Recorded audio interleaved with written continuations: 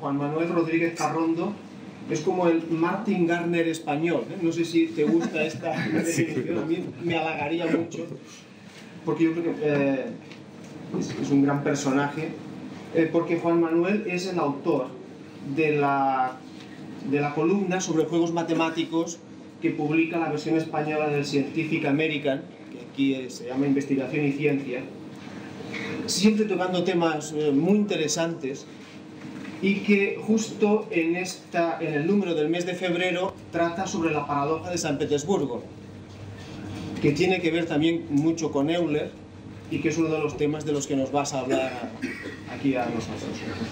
Bueno, yo creo que todos estamos deseando oírte que nos cuentes estas cosas, así es que yo te dejo y adelante. Bueno, muchas gracias por la, por la invitación a Sebastián, a la Facultad de Matemáticas y también a, a, la, a la presentación. Voy, en efecto, voy a hablar algo de la paradoja mía, o de los juegos paradójicos al final, porque, bueno, la idea es... Eh, realmente, yo soy un experto en probabilidad, eh, Sebastián me pidió mm, una charla sobre probabilidad de estas jornadas de Euler, pero realmente Euler no trabajó excesivamente en publicidad, en, en, probabilidad. Sus... Eh, tiene algunos trabajos de probabilidad, pero son bastante menores. Pero uno de los más interesantes es, sobre, esa paradoja de San Petersburgo, precisamente, que además es, una paradoja o un problema que, mm, que, tiene un interés histórico mayor del que yo pensé cuando empecé a, mirarlo hace, unos meses, porque ha dado lugar, en primer lugar, una parte de la teoría de probabilidad importante, como es eh, teoremas generalización del teorema central del límite y en segundo lugar ahora algo que es eh, algo básico en toda la economía moderna que es la teoría de la utilidad. Y, ambas, ambas eh, eh, líneas salen de la paradoja de San Petersburgo que, a la que Euler dedicó un artículo no publicado que publicó en sus obras póstumas que tiene el, el nombre de Sortis in Ludis bueno es más largo, luego veremos el título y mm, que significa el riesgo en juegos de azar, Y por eso he tomado esa mm, locución del título del, artículo de Euler para mm, eh, mi charla. Y como digo, hablaré de la paradoja de San Petersburgo, de la solución que dio Euler, que es esencialmente equivalente a la que dio Daniel Bernoulli, que no sé en el árbol genealógico. Tenía una transparencia en el árbol genealógico de los Bernoulli, pero no sé exactamente el parentesco con eh, Juan Bernoulli, como que nos hablaba antes Antonio. Pero este es Daniel, que también estuvo en San Petersburgo, no sé si coincidiendo con Euler. Y luego, finalmente, hablaré de teoría de la utilidad y de esas paradojas con juegos de azar eh, que, veremos, eh, veremos Bueno, pues la paradoja de San Petersburgo consiste en un juego de azar. Bueno, como decía antes, Euler trató probabilidad en, en pocas ocasiones la mayor parte de ellas relacionadas con loterías, porque algún noble o algún mecenas se pedía siempre que calculase ciertas probabilidades en juegos de lotería y solo tiene dos artículos un poco más aplicados a, eh, mm, ritmos de mortalidad y a, seguros de vida. Y realmente eso es también porque la época en que vivió hoy la probabilidad estaba prácticamente reducida su aplicación a los juegos. es en el siglo XIX cuando ya eh, la teoría de la probabilidad se desarrolla de forma mayor por la bueno, sobre todo la estadística matemática, por la aparición de, de los estados-nación, de los censos más sistemáticos y, por ejemplo, por problemas curiosos que provienen de la Revolución Francesa, como son eh, eh, la instauración del jurado en juicios, provocó bastantes estudios sobre cuál era la composición de un jurado para minimizar la probabilidad de error en, la sentencia. ¿Cuál es la composición? ¿Cómo debía ser la mayoría de ese jurado? Ese es un problema que a principios del XIX se trabajó bastante. Pero ya digo que en el siglo XVIII, mm, digamos, la teoría de la probabilidad una, era una teoría de juegos. Y la paradoja de San Petersburgo, que se llama así por un artículo que publicó Daniel Bernoulli en, en la revista de la Academia de San Petersburgo, aunque era anterior, pues consiste en lo siguiente, consiste en un juego de azar en donde hay un bote de 2 euros y tiramos una moneda. Y si sale cruz, duplicamos el dinero que hay en el bote. O sea, digamos, yo como casino mm, duplico esa cantidad Y si sale cara el jugador, uno de vosotros, pues os lleváis todo el bote y el juego se acaba. por ejemplo, eh, aquí tenemos, eh, eh, tiramos la moneda, sale cruz, el bote es 2 euros, sale cruz, entonces yo lo doblo, el bote es 4, sale cruz, así sucesivamente, y aquí ha salido cruz en la quinta jugada, con lo cual el bote ha llegado a ser de 32 euros, y eso es lo que os lleváis Por supuesto, aquí uno siempre gana, entonces algo tiene que pagar para entrar en el juego. ¿eh? No es, es, un juego, por supuesto, que siempre tiene ganancia positiva. Entonces, la pregunta que se hace Bernoulli, Euler y, todo, y muchos matemáticos del siglo XVIII es: ¿tenemos que cobrar algo por participar en este juego? ¿Cuál es la cantidad justa que debemos cobrar? Y es un problema que plantea una paradoja o una cuestión o, un problema abierto. ¿Por qué? Pues porque normalmente la cuota que uno paga para entrar en un juego es el valor medio de la ganancia. O sea, nosotros, pues, eh, eh, si eh, en la ruleta, si apostamos a un número, pues apostamos un euro y sabemos que el premio es 36 veces lo apostado si acertamos. ¿Por qué? Porque la probabilidad de acertar es 1 partido por 36. O sea que siempre la ganancia media es igual a la cuota que uno entra, a la cuota que uno paga cuando entra en el juego. Pero, ¿qué ocurre con este juego?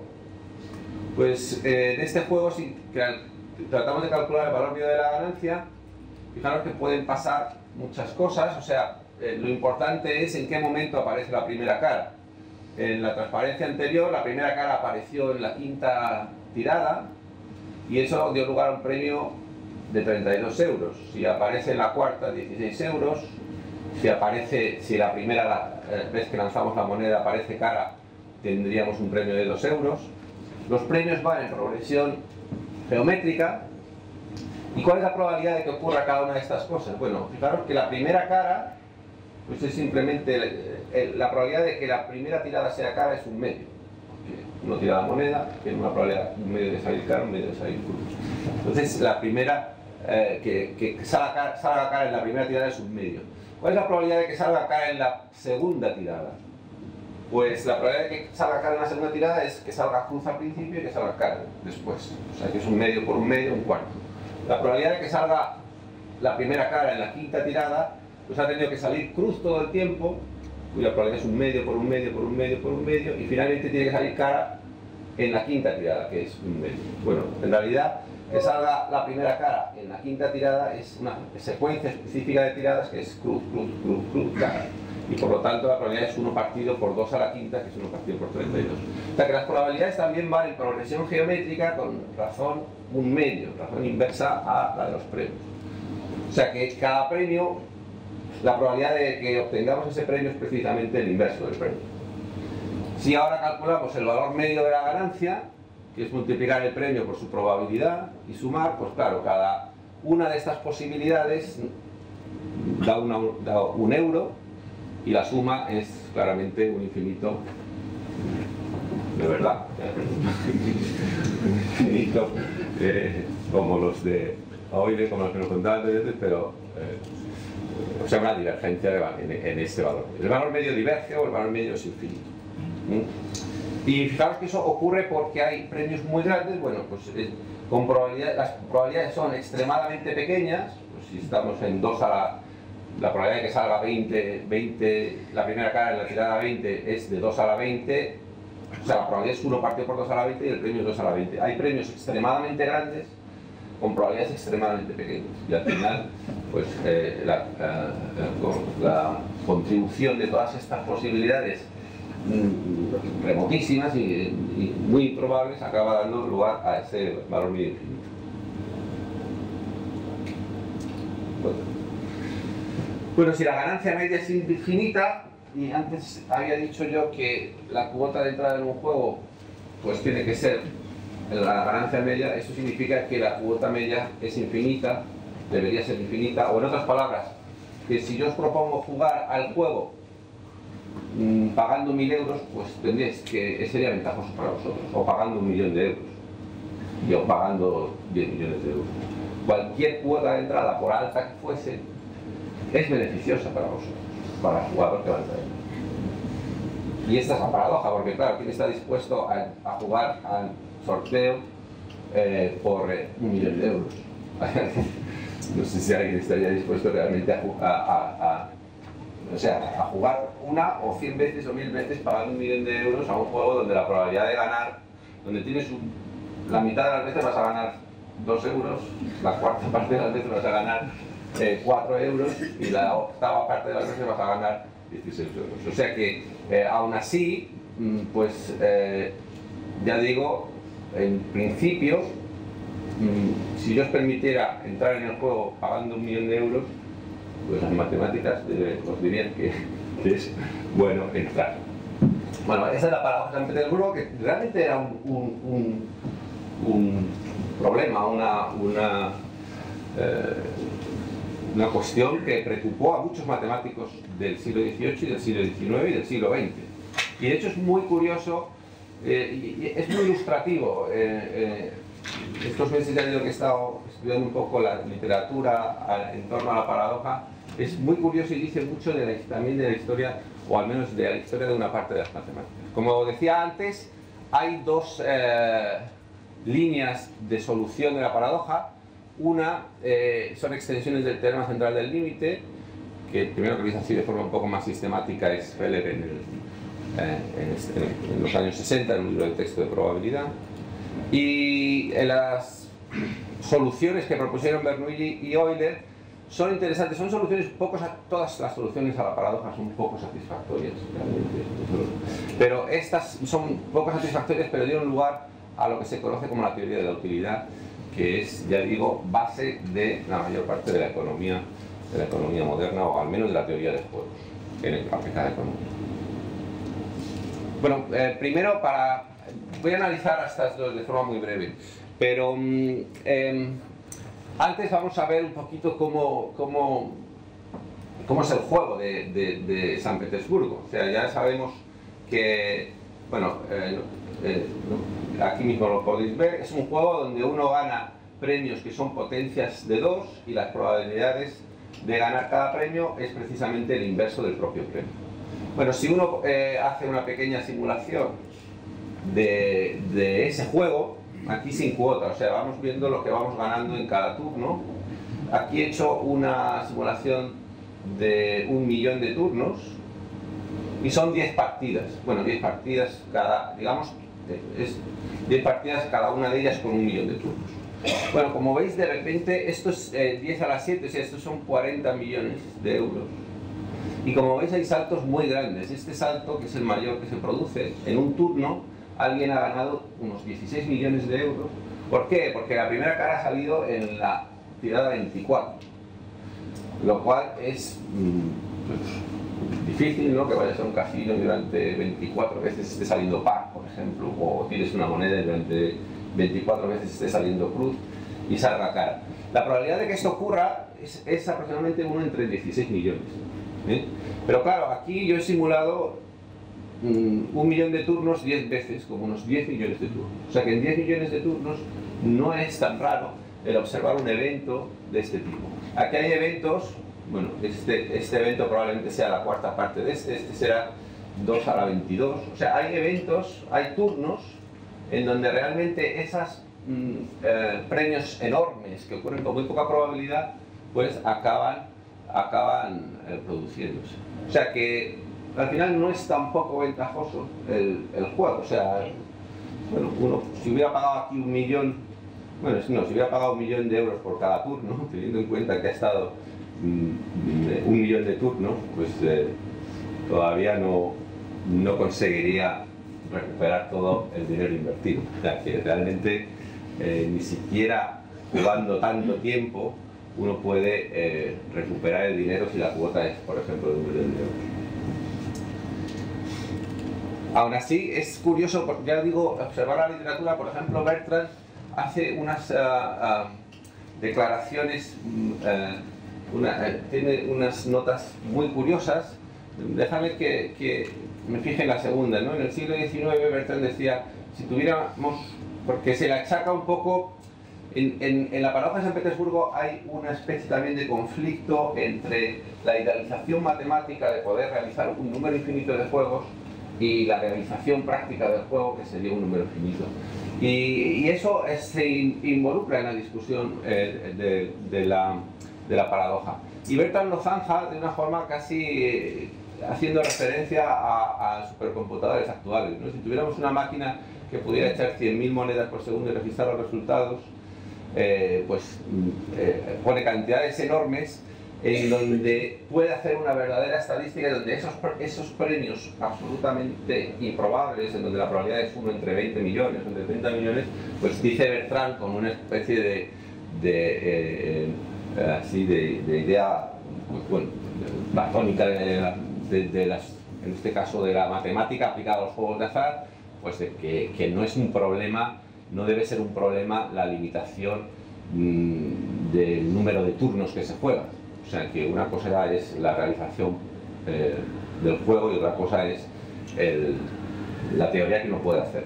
Entonces eh, él habla más de, la teoría justa y, pone este ejemplo de una máquina que pudiera, que sería un, simulador actual de, los juegos. Bueno, pero eh, como decía, lo que quiero es hablar ahora de las dos soluciones que se dieron. Esto, ya digo, es una discusión importante sobre el, esa, lucha entre la idealización y la realización práctica del juego, pero eh, primero quiero dar, la solución de Feller, que es una solución, digamos, desde el punto de vista del casino. O sea, si yo soy un casino y quiero organizar el juego, sé que voy a tener que hacer frente a unos premios cada vez mayores cuanto más veces juego el juego o, que se pueden dar, como, lo que hemos visto en la simulación anterior. Y lo que Feller calcula es una cosa muy simple, es cuando supongamos que juego n turnos, entonces el, premio en turno es una variable aleatoria que toma los valores que hemos visto, toma el valor 2 con probabilidad un medio, 4 con probabilidad un cuarto, 8 con probabilidad un octavo, etc. Yo esa variable aleatoria la puedo sumar. Y con eso, o sea, puedo sumar muchas variables independientes, iguales e independientes, n de ellas, y con eso tendría una nueva variable aleatoria que sería la ganancia después de n turnos. Entonces Feller estudia esa ganancia y ve que, está, que, es que la distribución de probabilidad, su valor medio es infinito porque el valor medio de cada una de las ganancias es infinito, pero la distribución de probabilidad está picada en torno a esta cantidad, n logaritmo en base 2 de n. Y por lo tanto propone una cuota que sea n logaritmo 2 de n. Aquí podéis ver la distribución de probabilidad después de 50, 100, 200 turnos y suponiendo que hemos, hecho una, que hemos cobrado una cuota total, no por juego, sino total, no por turno, sino total en el logaritmo de 2n. Y veis que más o menos pues están picadas en torno a cero, con lo cual nos da a entender esto que esta cuota sería la cuota justa. Es una cuota extraña porque no es proporcional al número de juegos. Esto lo que nos está diciendo es que la ganancia total diverge o crece como en el logaritmo de n y por lo tanto no podemos cobrar una cantidad fija por juego. Una cantidad fija por juego sería, esta es la cantidad total que tenemos que cobrar, si la dividimos por n, pues nos resulta el logaritmo de n, entonces realmente lo que cobramos por juego depende del total de turnos que, hagamos. Bueno, esto es lo que se conoce como una extensión del teorema central del límite. El teorema central del límite se aplica a sumas de variables aleatorias todas iguales, por ejemplo, si jugamos 20 veces a la, a la ruleta, este es el premio, sería el premio de la primera vez que jugamos, de la segunda, de la enésima, de la vigésima vez que jugamos, y esa sería la ganancia total. Bueno, el teorema central del límite nos dice que esta variable es prácticamente eh, proporcional al número de veces que uno juega. Y la constante de proporcionalidad es el valor medio del premio en cada, en cada turno, en cada juego que hagamos. ¿Qué pasa en San Petersburgo? Que esto es infinito. Entonces, al ser infinito, el teorema central del límite no se puede aplicar y la variación que descubrió Feller es que el valor medio de la suma no crece proporcionalmente al número de sumandos, sino proporcionalmente al número de sumandos logaritmo de n. Lo cual es una generalización curiosa, porque al fin y al cabo estamos sumando n, n cantidades, finitas todas ellas, sin embargo la suma acaba, puesto que cada una de esas cantidades a su vez cuantas más sumamos, más probable es que aparezcan esos premios enormes, esos premios muy grandes, la variable total va como en el logaritmo. Y esa es una extensión del teorema central del límite que se ha aplicado en bastantes problemas de, de física y de procesos estocásticos. No voy a entrar mucho en ello, pero, eh, bueno, nada, pero eh, hay algo conocido como vuelos de Levy, que precisamente son caminos, caminos aleatorios, o sea, eh, caminantes que, caminan en el, espacio bidimensional, por ejemplo, en un plano, dando saltos y que tienen este tipo de comportamiento. Los vuelos de Levy, por ejemplo, ahora se, están utilizando o, o se está se está registrando movimientos, por ejemplo, de animales, estos ecosistemas, y se está viendo que los vuelos de Levy son bastante, reproducen bastante bien el comportamiento, por ejemplo, de, de ciertas aves cuando buscan comida, de los, de viajes que hacen ciertas aves. Y luego también se utiliza mucho en transmisiones de fase en física, en fenómenos que tienen lugar en fractales, este tipo de extensión del fenómeno fundamental. Bueno, esta es una extensión aplicable al, al juego de San Petersburgo, pero puede haber otras Mm, distintas. lo importante es que cuando la variable tiene valor medio infinito ya esto no es sostenible y entonces el crecimiento tiene que ser mayor que simplemente proporcionar el número de turnos. Bueno, pero eh, quiero centrarme más. Ya digo que la paradoja de Petersburgo genera estas dos corrientes. Una es estas extensiones al teorema central del límite que la solución, como solución a, la paradoja tampoco es muy satisfactorio, porque nos está diciendo que yo tengo que cobrar en total n el logaritmo de n, por lo tanto si juego un millón de euros, pues si juego un millón de turnos, pues tendré que cobrar un millón logaritmo de un millón, y no me da una cuota por juego, sino que me da una cuota total que no es proporcional al número total de turnos. Bernoulli se plantea el problema de otra forma, completamente distinta. Eh, si Federer lo hace suponiendo que se va a jugar muchas veces y lo que pretende es ver cuánto tiene que cobrar el casino para afrontar los pagos, Bernoulli lo que trata es de ver por qué no nosotros como individuos no vamos a pagar, no se nos pasa por la cabeza pagar un millón de euros o, o mil euros por entrar en el sorteo. Entonces Bernoulli adopta más, y Euler también, el, eh, el, punto de vista del jugador individual que va a pagar eh, una cierta cuota por entrar. Y, y, hace una solución que es un poco arbitraria, es bastante arbitraria. Y piensa lo siguiente, ¿por qué yo no soy capaz, por qué yo, nadie, va a nadie va a pagar mil euros por entrar en el juego? Bueno, no solo porque los premios muy altos sean muy improbables, sino también porque los premios tan altos como 40 millones de euros, 80 millones o, 10 elevado a 20, pues no suponen realmente una ventaja muy grande con respecto a premios, o sea, 10 elevado a 20 euros y 10 elevado a 19 euros no suponen una, un cambio de estatus, dice por ejemplo Euler, en, la fortuna de un individuo. O en otras palabras, la utilidad del dinero no es igual a su cantidad. O sea, no es lo mismo un euro eh, o, mil euros para alguien que tiene una fortuna de 100 millones que para alguien que no tiene nada. Y esa es eh, la, eh, la idea clave de la solución de Bernoulli y de Euler al, problema de San Petersburgo.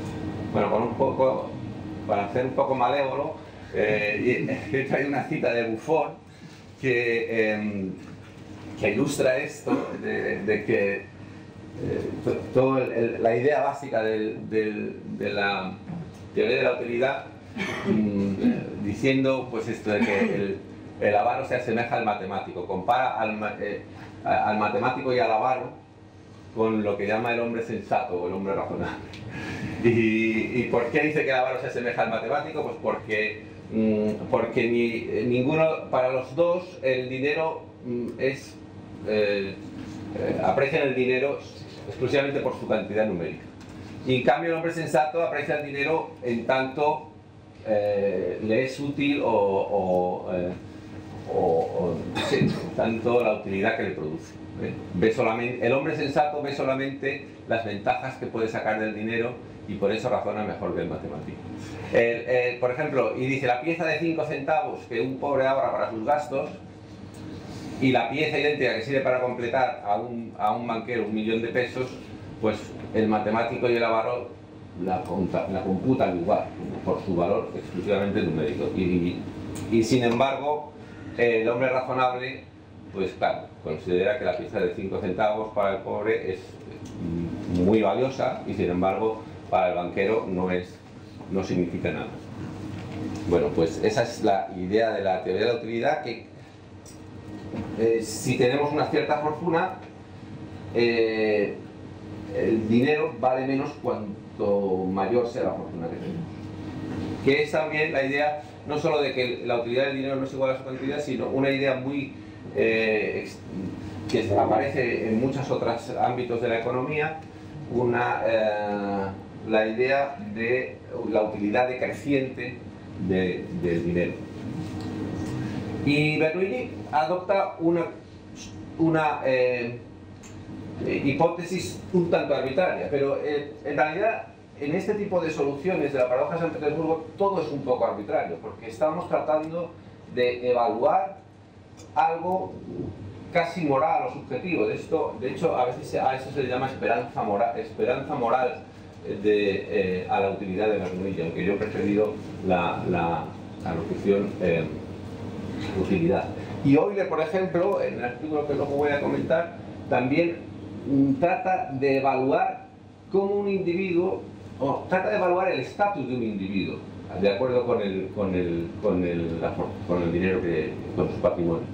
Y es por lo tanto un terreno bastante subjetivo, pero en el que curiosamente ni Bernoulli y otros matemáticos no tienen eh, reparo en, meterse ¿no? en ese terreno. Y es curioso cómo es una matemática de principios del 19, finales del 18, que empieza a atacar problemas morales, algo que luego en el 19 va a extenderse sobre todo en la estadística. La estadística del 19 es una especie de intento, en palabras de algún matemático, de hacer una especie de física de lo social. ¿eh? Eso es en, gran parte la estadística del 19 aplicada sobre todo a censos, pero a censos ya no solo de, número de habitantes, sino de, a, estadísticas de todo tipo que empezaron a proliferar en el siglo XIX. Pues esto es el comienzo de ese intento de hacer una matemática de lo moral eh, o, de lo psicológico en este caso. Entonces, eh, eh adopta esta idea que, bueno, siendo arbitraria, pues es de las más simples quizá que uno puede pensar. El incremento, si yo tengo una fortuna X, si incrementa en un delta de X, la utilidad de ese incremento de fortuna es inversamente proporcional a lo que tengo. Esa es la idea de Bernoulli. O sea que un euro, la utilidad que yo le doy a un euro es inmensamente proporcional a mi patrimonio. Lo cual, pues tiene sentido, esa utilidad sería casi, casi infinita, si, sería infinita si no tengo nada, porque cualquier cosa que me dé me puede, me puede sacar de, la miseria. Bueno, esto lo supone para incrementos pequeños, si uno lo integra, y, quiere saber cuánto se incrementa la utilidad cuando una fortuna pasa de una cantidad A a una cantidad B, pues eh, le aparece un logaritmo que es lo que se conoce como eh, función utilidad de, la función utilidad de Bernoulli. La utilidad de una cierta cantidad de dinero es el logaritmo de esa cantidad. Y como veis, eh, como la gráfica del logaritmo, pues es, dependiente decreciente y por lo tanto, el, bueno, como se ve aquí, pues la utilidad de, una cierta cantidad de dinero es menor cuanto mayor es el patrimonio de la persona a la que le corresponde esa cantidad. Entonces, ahora podemos analizar el sorteo de San Petersburgo pensando que lo que vamos a recibir, vamos a recibir dinero, pero estamos interesados en cómo ese dinero va a aumentar nuestra utilidad. O, eh, o, Euler lo llama nuestro estatus. Entonces, suponer ahora que yo tengo un capital B y tengo que pagar para entrar en el sorteo una cuota C. Entonces, después del sorteo, si he ganado 2 euros, pues mi capital será B menos C porque he pagado la cuota C más los 2 euros que he ganado, B menos C más 4 será si he ganado 4 euros, B menos C más 8 será si he ganado 8 euros, y cada, cosa de, cada evento de estos ocurre con una probabilidad un medio, un cuarto, un octavo respectivamente. Bueno, si sumo todas las posibilidades, tengo la utilidad después del sorteo, resto la utilidad antes del sorteo, y este es el incremento medio de utilidad que consigo por entrar en el sorteo pagando una cuota C. Como digo, estamos ahora desde el punto, viendo todo desde el punto de vista del, eh, del jugador que entra en el sorteo y quiere saber si le conviene o no entrar en el sorteo dependiendo de la cuota que va a pagar. Bueno, eh, ¿cuál es el criterio para entrar en el sorteo o no entrar? Pues que mi utilidad en media sea positiva. No voy a entrar en un sorteo donde yo voy a perder. En este caso no perder dinero, sino perder utilidad. ¿eh? Que es la diferencia clave y que es lo que hace que los premios que en principio crecen como progresión geométrica, al tomar el logaritmo, pues crezcan como progresión aritmética y esa suma sea ya finita. Bueno, esta ecuación se puede resolver y aquí tenéis la solución dependiendo del capital inicial. También aquí en este caso, si antes decíamos que no era una solución del todo satisfactoria porque no daba una cuota por juego, aquí tampoco, aquí la cuota que está dispuesta a pagar la persona depende de, su patrimonio.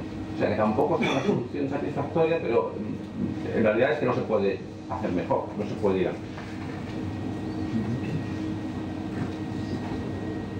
Bueno, como veis, eh, por supuesto, si yo tengo mucho dinero, pues no me importa pagar un poco más de cuota porque esos premios grandes que aparecen por aquí, pues, eh, pues pueden aumentar considerablemente mi utilidad.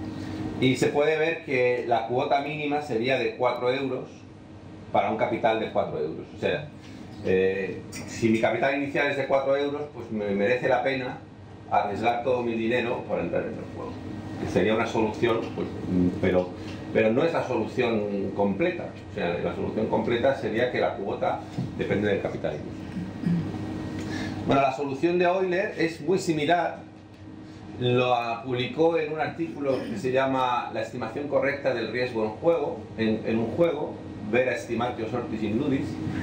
Y, y, curiosamente es muy similar a la de Bernoulli. Cita a Nicolás Bernoulli, que también había estado involucrado en, la, en, los, en el problema. Y, lo, que, lo que Euler eh, en este artículo defiende es lo siguiente. En realidad habla de cómo evaluar sorteos en general, que es a lo que vamos a ahora, el, resto de la charla va a ir sobre eso, sobre cómo evaluar un sorteo en general. Eh, Bernoulli propone la función de utilidad y Euler propone lo que se llama, eh, lo que él llama status, de una persona y para evaluar el estatus de una persona que puede ganar distintos premios, lo que hace es, lo que propone es considerar la media geométrica en lugar de la aritmética. Y lo realmente da poca, es un artículo, una cosa un poco pesada y no, no, no da una idea muy clara, o por lo menos a mí no me queda una idea clara después de leerlo en inglés, lo podéis bajar en internet, de eh, cómo justifica o sea, lo justifica diciendo que, bueno, que si uno de estos factores es cero, pues entonces, eh, ¿quién va a arriesgarse a perder toda su fortuna? Y que, por lo tanto, pues eh, la, media geométrica da cuenta del estatus de una persona mejor que la aritmética. Pero realmente no tiene una justificación demasiado eh, precisa o afinada de, de por qué lo hace. Bueno, por ejemplo, con una probabilidad de un medio, si uno tiene dos premios y un capital inicial, puede incrementar su capital en, una cantidad mayúscula o b mayúscula. Lo que propone Euler es tomar la media geométrica de las dos posibilidades. Este sería nuestro estatus al final del juego y este es nuestro estatus al principio del juego y para saber si el juego nos conviene o no, pues tendríamos que comparar esto con esto. Si es positivo nos conviene y si no, eh, no nos conviene. Bueno, en el caso de San Petersburgo la cosa se complica más porque serían un, número infinito de factores. Quizá también quiso hacerlo por esa, por esa afición que tenía a los productos infinitos y, y vio una posibilidad de escribir esta media geométrica como un producto infinito en el caso de San Petersburgo, que sí. pero no lo escribe explícitamente en el, en, el, artículo. De todas formas, bueno, si tomáis logaritmo veréis que esto es esencialmente la solución de Bernoulli, porque Bernoulli lo que quiere es tomar logaritmo de los premios, vamos, de, las, de los capitales después del juego, y eh, por lo tanto si tomáis logaritmo veréis que sale logaritmo de esto más logaritmo de esto partido por 2 y esta definición es esencialmente equivalente a la de Probablemente por eso tampoco lo publico nunca, porque eh, eh, la solución era bastante... En el artículo hace también una cosa que le preocupa a Euler, que es que si los capitales iniciales son muy grandes, puede desarrollar en serie de potencias el premio partido por el capital y ve que el resultado al final es el mismo que tomar medias aritméticas. Entonces esa es una cosa que también interesa bastante, que la media geométrica se reduce a la media aritmética cuando los incrementos son pequeños. Bueno, eh, tanto la solución de Euler como la de Bernoulli dieron lugar a lo que se llama teoría de la utilidad. O sea, tratar de, em, de cuantificar cómo valoramos el dinero. ¿eh? O cómo valoramos, más que el dinero, cómo valoramos también el dinero y el riesgo. Y eso dio lugar a, ha dado lugar a esta teoría de la utilidad cuyas bases las sentaron eh, von Neumann y Morgenstern en, su libro de teoría de juegos, el primer libro de teoría de juegos. Bueno, la teoría de la utilidad está basada, la teoría de la utilidad moderna está basada en una serie de axiomas y de axiomas sobre cómo preferimos una lotería a otra. Y a partir de eso se construye, en lugar de partir como partir como como Bernoulli de una función de utilidad, se utiliza un método más, un método más propio del siglo XX, un método axiomático, donde a esta función se le exigen unas ciertas propiedades y luego se deduce de esas propiedades que la única, uh, o, pues, la única posibilidad es el logaritmo neperiano u otras.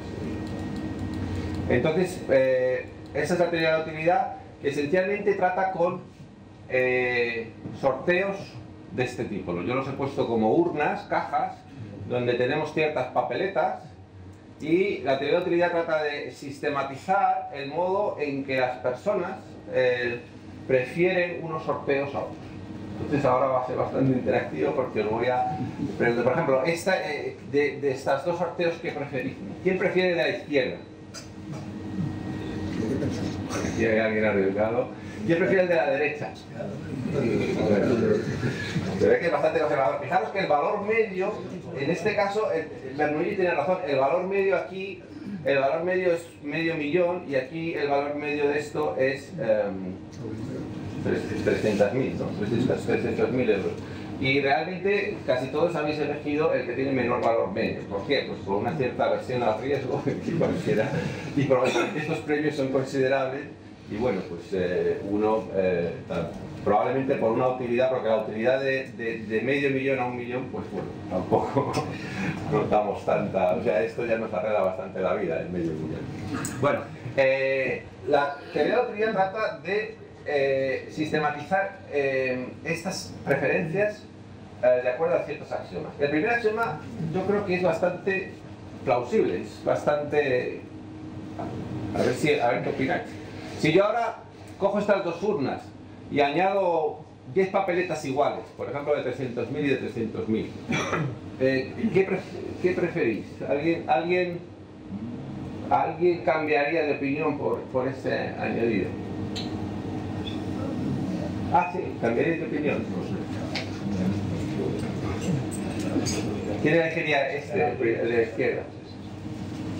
Sí, o sea, hay gente que cambiaría de opinión. Bueno, pues estaría desafiando uno de los axiomas de la relatividad, porque el axioma que yo pensaba que era bastante obvio, el axioma de independencia es un axioma que dice que si yo tengo dos loterías, o dos urnas, si añado papeletas a las dos iguales o las retiro, pues el orden, las preferencias no, no debe cambiar, no puede cambiar.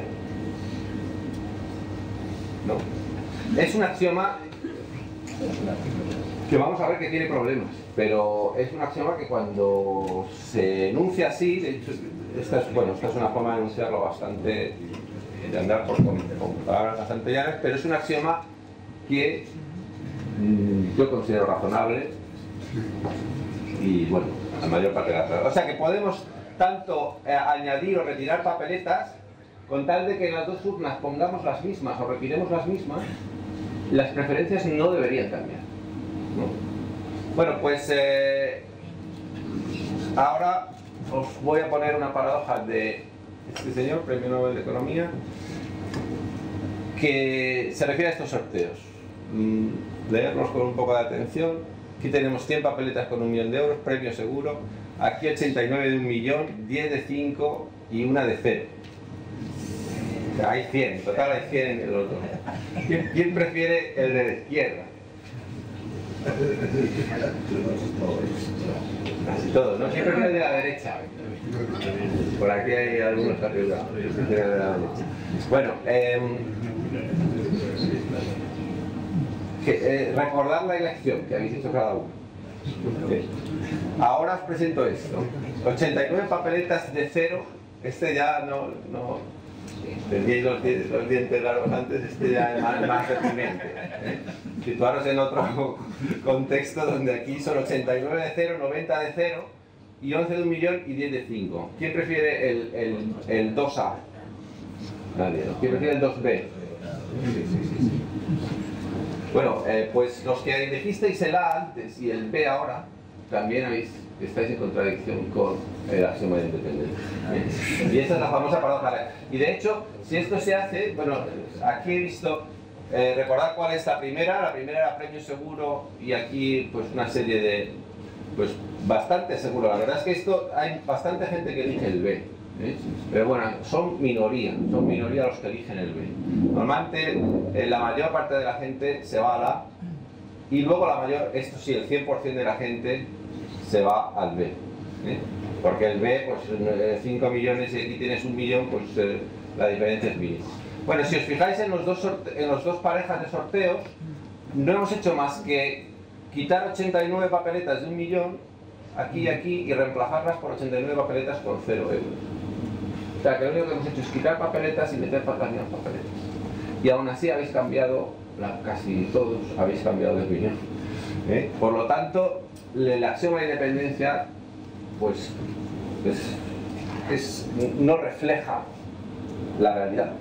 Esto no es una paradoja lógica, no es ni siquiera una paradoja, simplemente una demostración empírica de que el axioma de independencia no refleja eh, el- la dinámica de cómo preferimos unas- unos sorteos. Y otra segunda paradoja, bueno, ¿cómo se explica? Hay mucha gente que trata de relajar el axioma de independencia para que paradojas como la de Alex pues, eh, pues ya dejen de serlo, o sea, que tengan cabida. Por ejemplo, aquí eh, mucha gente critica la formulación de la paradoja con el hecho de esta, quizá todo el truco del asunto está en esta cosita de aquí, que es una papeleta de 0 euros, que aquí abajo pues es insignificante, porque de 89 a 90 aquí nos importa que haya una más, y sin embargo aquí nos eh, hu- huimos de ella como la peste, porque de, tener un millón de euros. Y aquí también se ve un poco que hay una, un- una eh, eh, cuestión de, de utilidad decreciente, porque bueno, pues de un millón a cinco millones, pues hombre, tampoco... eh, pues un millón ya nos, po- nos- nos pone bastante contentos. Bueno, esta es la primera paradoja que tiene eh, que ver con la aversión al riesgo, con una versión extra al riesgo, que es la presencia de esa papeleta. Hay otra que es casi más interesante y es la siguiente, es de Elsa.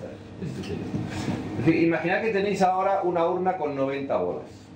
30 son rojas y 60 son amarillas o negras. Pero vosotros no sabéis cuántas hay amarillas y cuántas hay. En total 90, 30 rojas, 60 amarillas. Las he pintado así para que no haya, para no eh, influiros en las decisiones que vais que, tenéis que tomar. Bueno, eh, ¿qué elegís de esto? Os doy a elegir estas dos cosas. Os doy 100 euros si sacáis una roja, os doy 100 euros si sacáis una negra. ¿Quién elige lo de la izquierda? ¿Y quién elige la de la derecha? Nadie. Nadie, sorprendente. Bueno, recordad la lección que habéis hecho. Ahora os propongo esto. Os doy 100 euros si sacáis roja o amarilla. Y os doy 100 euros si sacáis negra o amarilla.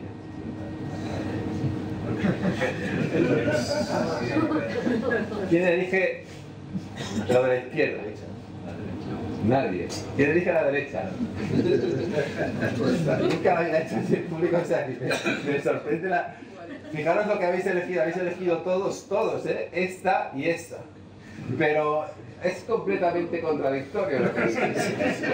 Porque lo único que esta, esta pareja de sorteos, si la comparáis con esta, lo único que he hecho es añadir la amarilla a los dos casillos. O sea que si realmente, cuando habéis dicho esto, lo habéis dicho con la convicción de que había más rojas que negras, o la suposición, o la...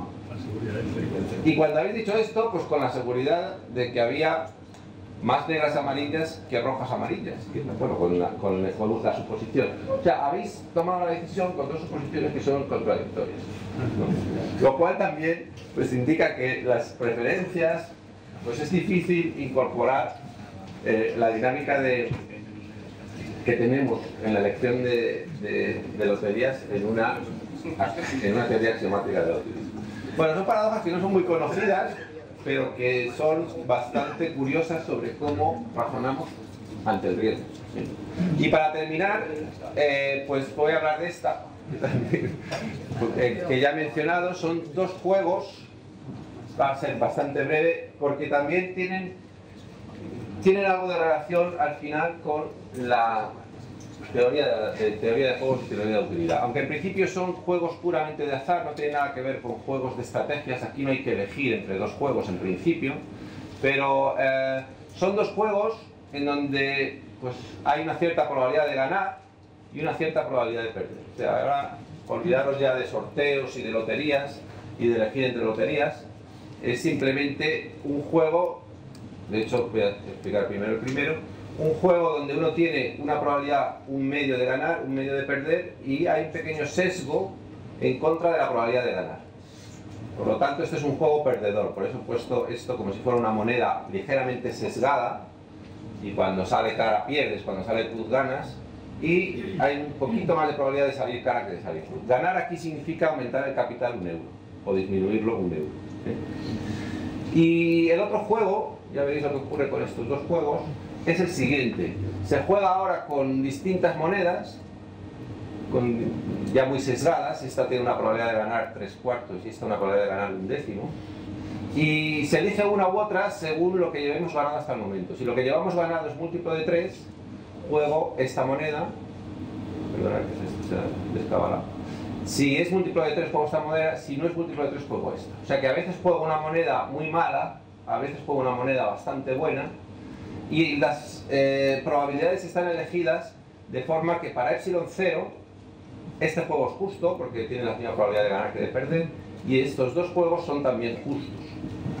Perdón, este juego es un juego ¿eh? este juego es justo. ¿eh? Se combinan la buena y la mala de forma que al final uno ni pierde ni gana.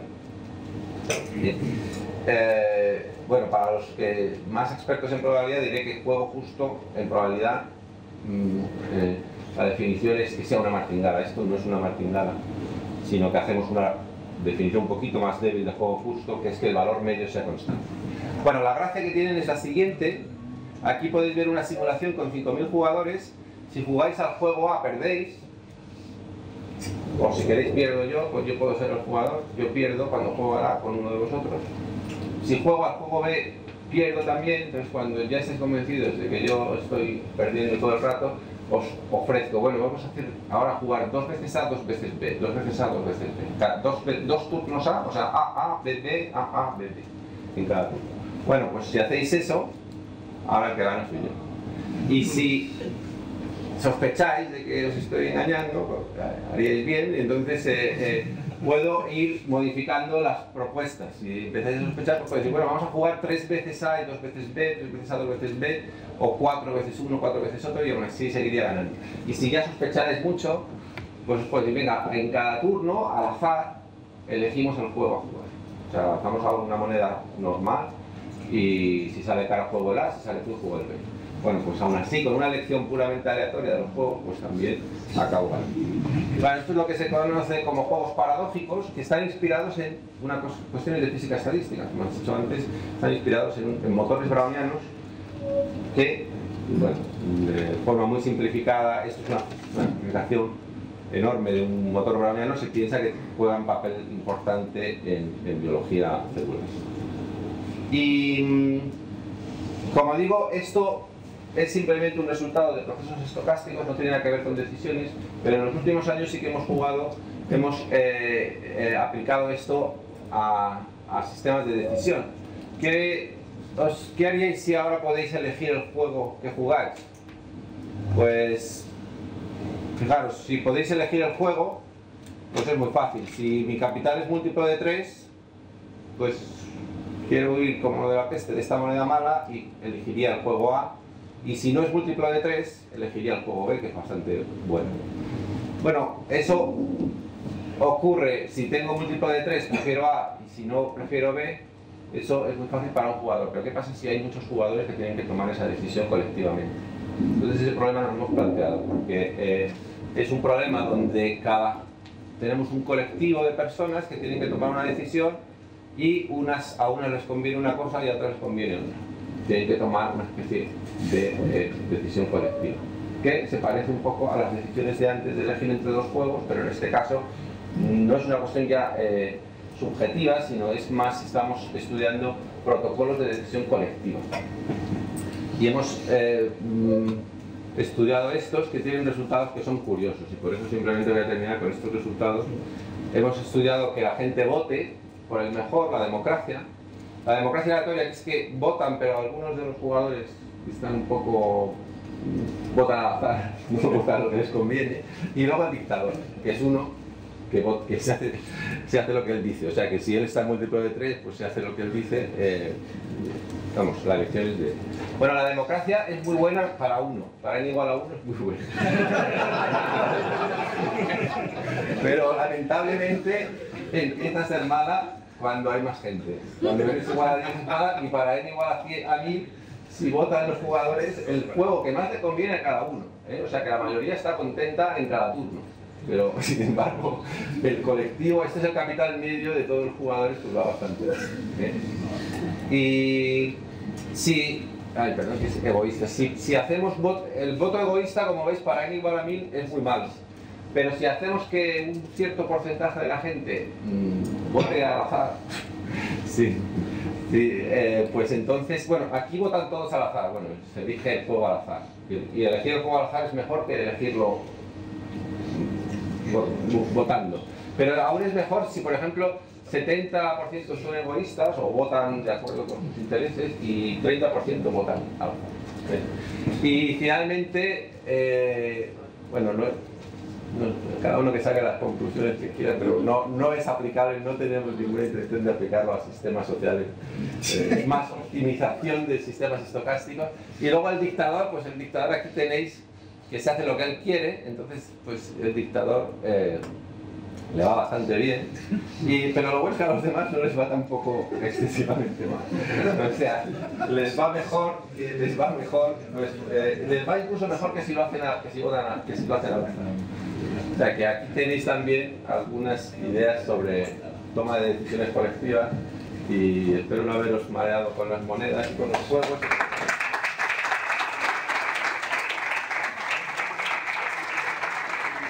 Muchas gracias.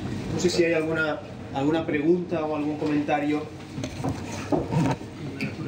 Sí. Uh, dit, ¿no? Me parece que lo has dicho. Eh, yo había leído cosas de probabilismo moral, por ejemplo en el siglo XVII, incluso aquí en España y tal. Esto sería lo que has dicho, que ha ido a parar a la, a la teoría de la utilidad. Eh, no probabilismo me encontré, bueno, cosas de historia, me encontré, por ejemplo, ahora no recuerdo el nombre, pero en el siglo XVII eh, empezó una teoría y entonces leyendo cosas se llamaba probabilismo moral, que era diferente del probabilismo, por ejemplo, que empezó pues, con Fermat ¿eh? y con estas. No, yo te, bueno, es que no lo conozco. Yo no, sé que, has dicho algo de, de, Sí, que usaban esa palabra de, eh, por ejemplo, hoy usa la palabra estatus. Eh, eh, a Bernoulli se ha traducido como esperanza moral, la utilidad. Y, pero no sé si es una traducción de las que me he manejado yo del castellano o es eh, o realmente yo no he visto el texto de Bernoulli original. Si es moral, ah, bueno, sería. no, no, sé ni siquiera en qué está escrito el de, el de Euler estaba en latín. Pero no, no sé, yo lo que sí he hecho es que es, digamos que es eh, la aplicación de la probabilidad a problemas morales. Y eso luego en el 19 sí que se da mucho el... ya te digo, por ejemplo, uno de los primeros problemas donde se aplica la probabilidad es a lo del el, error en jurado. Entonces, digamos, pero no son problemas morales, es, problema, es un problema puramente probabilista. Pero no, te, no me interesaría, ¿no? si quieres me Sí, luego lo hablamos. No sé si alguien quiere preguntar algo más. Que nadie se atreve a jugar contigo. Pues, pues nada, lo dejamos ya. Gracias.